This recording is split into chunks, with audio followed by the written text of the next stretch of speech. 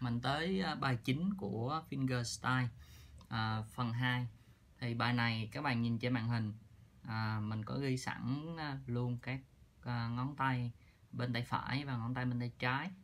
Các bạn thấy là à, mình sẽ học cái công thức của bên à, tay phải trước. Là mình sẽ có thể đánh hai cách. Cách thứ nhất là mình sẽ đánh là dây 3 dây 2 dây 1 bằng ngón y ngón m và ngón a này, 3 2 1 nè. Thì các bạn đếm thấy là ở đây mình sẽ trong ô nhạc đầu tiên á thì mình sẽ thấy là có I M A I M A I M đó mình có thể đánh. Ví dụ như là ô đầu tiên mình các bạn khoan chú ý tay trái chú ý tay phải trước nó lại nè. I M A I M A I M I A.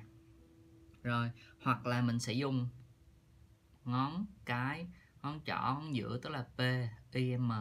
Đó. P I M P I M P M. Đó, các bạn dùng cách nào cũng được. Cách nào cũng uh, phù hợp hết. Rồi sau đó mình mới nhìn vào tay trái. Thì tay trái mình xếp như sau ở ô đầu tiên á mình sẽ xếp là ngăn ngăn năm của dây 3 là ngón 3 đó ngăn 5 dây 2 là ngón út và ngăn 1 à, nhân 3 của dây 1 là ngón 1 à, rất là ngón trỏ nha. Thì mình có thế bấm nha. Thì trong ô đầu tiên mình là 553 này. Còn bên tay phải các bạn dùng tiết điểm à, cái cái um, công thức tay nào cũng được hết. Lại nè 5 nè 5 3 nè. Đó, 5 5 3 5 5 3 5 3 à, công thức của tay phải vẫn lặp lại ở ô sau. Ô sau thì mình sẽ đổi tay trái thôi. Tay trái của mình là 4 nè. Tức là ngón 2 của mình sẽ nhấn ngân 4 dây 3 ngón út vẫn giữ nguyên. Tức là ngón 4 vẫn giữ nguyên. Ngón 1 vẫn giữ nguyên. Đó. rồi, từ ô thứ hai sang ô thứ ba sẽ hơi khó một chút xíu là 353 thì các bạn thấy ở đây là ngón chỏ mình sẽ chặn dùng cái đốt đầu tiên đó mình chặn tròn đủ ba dây này trong phạm vi này chặn tức là ba dây này nếu các bạn nhấn riêng ra vẫn phải đều à, đều có khi mình gãy thì nó vang là những cái âm thanh đầy đủ nó không bị tẹt nó không bị hư à. thì các bạn chuyển từ 4 à, từ 453 mà sang 353 thì các bạn sẽ thấy là mình phải chuyển ngón trỏ này từ việc nhấn một ngón tay chuyển lên nhấn ba ngón thì đôi khi mình sẽ bị mất nốt như sau. Thì các bạn sẽ thấy là khi mình chuyển á, thì mình chưa kịp um, ở cái ô thứ hai nốt cuối cùng á, là nốt ngăn ba dây một á. Thì cái này mình đánh xong mình chuyển nè. Đó các bạn sẽ thấy nó bị mất nốt. Thì nếu mình chuyển như vậy thì mình sẽ bị mất khoảng um, nửa nốt. Nếu mà các bạn không muốn mất nốt thì mình có, mình phải xếp từ đầu luôn, từ ô thứ nhất luôn thì mình xếp ngón một này chặn, sẵn trên ba dây đó. xong đó mình chuyển qua, mình chuyển chuyển qua mình, ô hai mình đánh tiếp thì mình, đến ô hai, sang ô ba thì mình chỉ việc thả ngón hai ra thôi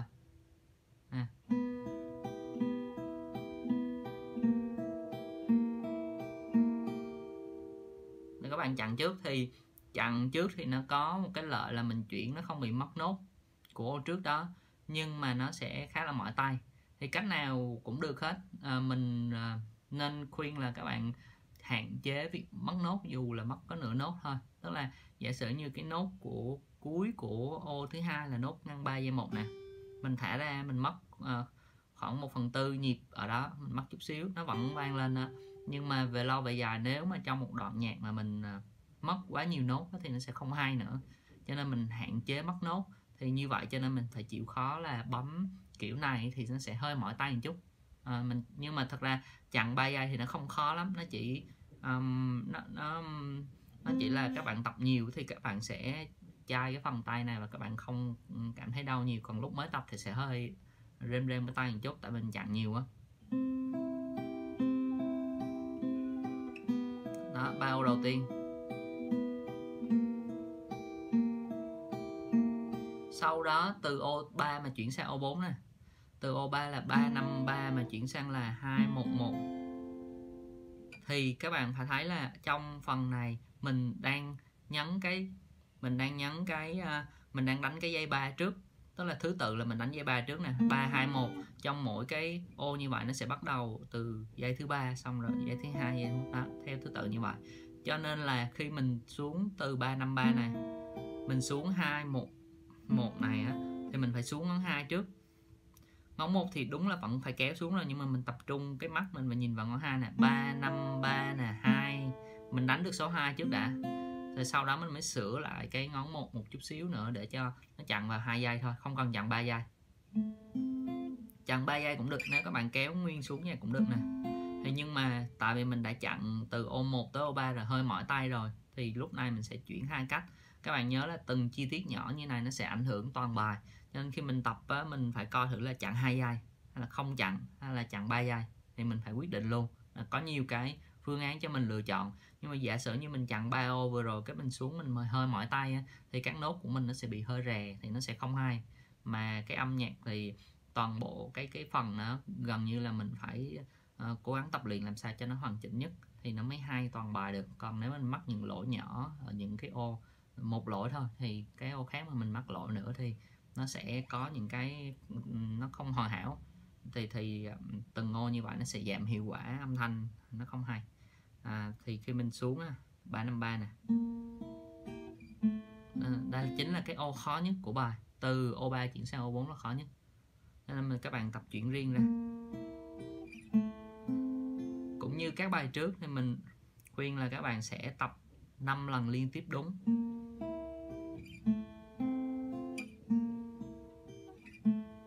Đó, 5 lần liên tiếp đúng thì sau đó mình tập từ 3 4 qua được rồi thì mình mới bắt đầu tập O4 O4 thì dễ. À, dùng hai ngón thôi khá giống pha trưởng chặn bốn ngón nhưng mà à, chặn à, ừ, à từ dây 1 tới dây 4 đó à, bây giờ mình chỉ được đánh ba dây này thôi. Thì khi mà các bạn làm hoàn chỉnh vào đây rồi.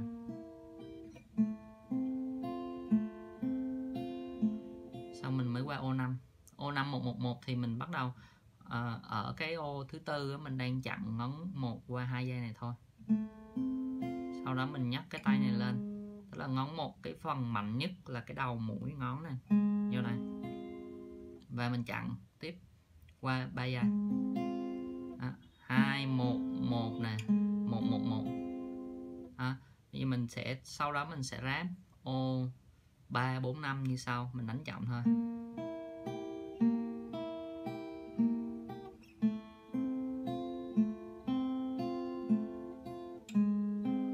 Sao các nốt cố gắng càng đều càng tốt.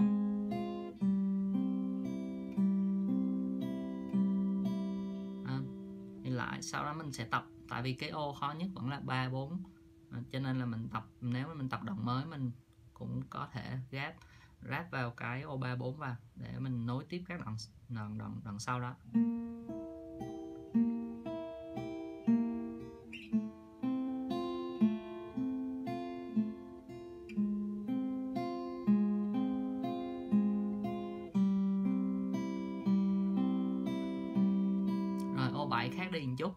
7 thì mình đánh 3 2 1 nè.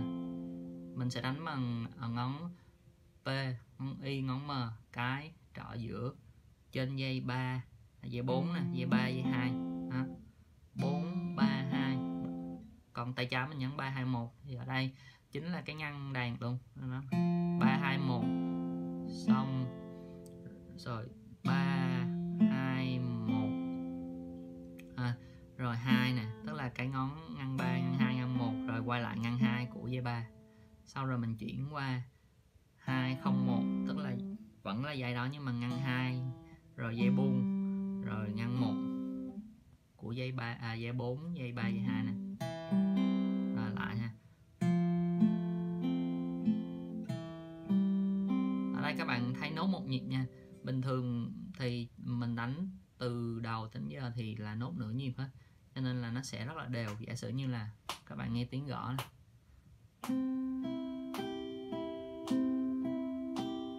đó thì nốt nó nằm à, một nhịp nó có hai nốt. Riêng với cái nốt mà như uh, à, O7 đó thì cái nốt này thì sau đó nó không có nốt nửa nhịp nào. Nó là mình nốt một nhịp đó. Thì nó sẽ diễn ra như sau. Ô đó có bốn nhịp thì mình sẽ đánh nghe tiếng gõ chân các bạn.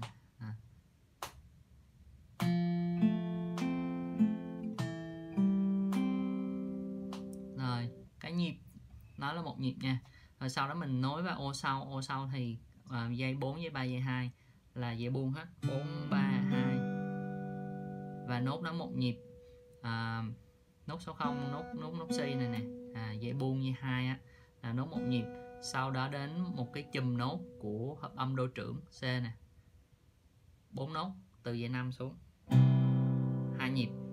Thì sau đó mình nối lại à, tất cả như sau có thể nhịp trước để cho các bạn làm quen với nhịp nó thay đổi đây. Ở đây thì nếu mình đánh đều thì mình có thể mình không cần nhịp mình chỉ canh cảm giác để cho đánh đều. Nhưng mà tại vì ở đây có các nốt khác nữa à, nốt một nhịp à, có độ dài một nhịp có độ dài hai nhịp chân cho nên mình nên ghép vào cái cái cái tempo vào cái máy metronome vào nếu được. Còn không thì lúc các bạn tập các bạn có thể nhịp chân trước hai nhịp chẳng hạn. Rồi mình vào nè một hai nè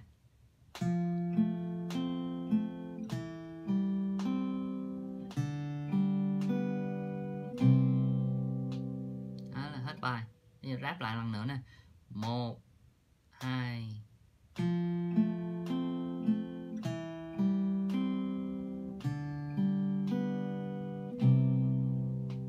Rồi, giả sử như mình ráp toàn bài, thì mình ráp thật chậm trước đã. Rồi. một, hai.